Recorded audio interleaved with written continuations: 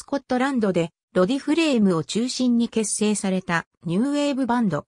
1981年にインディーズのポストカードレコードからデビューした後、6枚のオリジナルアルバムを発表。1998年からロディフレームはソロ名義でアルバムを発表している。日本においては、ペールファウンテンズやオレンジジュース、ブルーベルズ、エブリシングバットザガールらと共に、ネオアコースティックサウンドの中核をなすグループと位置づけられており、ギターポップ的な指針を示した最も大切なグループの一つである。アズテックカメラは1980年、スコットランドのイーストキルブライド出身で、当時16歳のロディフレームが中心となり、結成された。1981年、グラスゴーのレーベルである、ポストカードから、シングル、Just Like Gold をリリースした。そして1983年、ラフトレードと契約した彼らは、ファーストアルバム、ハイランド、ハードレインを発表した。1984年、メジャーの Wii に移籍し、2作目のアルバム、ナイフをリリースする。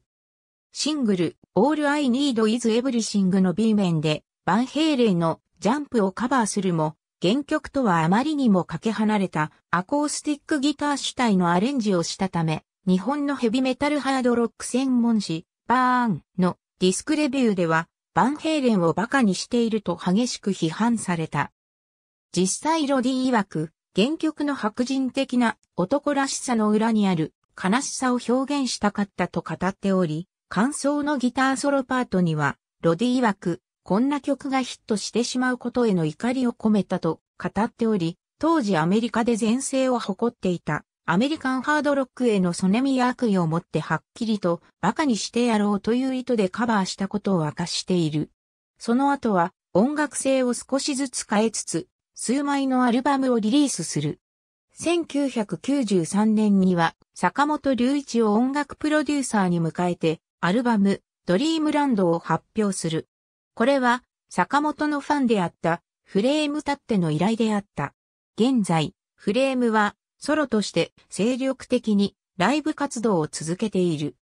ロバーツ、デビッド、 British Hit Singles Albums、London、Guinness World Records Limited、ピアニッシモ、35、ISBN1 から90万4994から10から5、US Modern Rock Singles。ALLMUSIC.com。2016年6月5日閲覧。ありがとうございます。